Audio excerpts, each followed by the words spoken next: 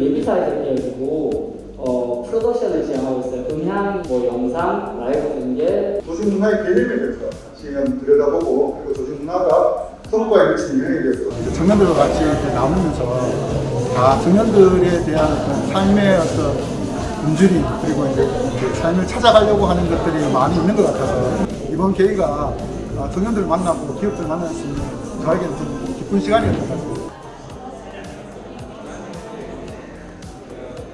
그래서 첫 자취를 할때 도움이 되는 주거 정책에 대해서 알고 싶다고 하는 구체적인 질문이 우리나라 이제 주거 정책이 어, 가족 중심으로 되어 있어요. 그래서 이제 신혼부부거나 뭐 아이가 있거나 이러면은 더 이렇게 점수를 많이 주고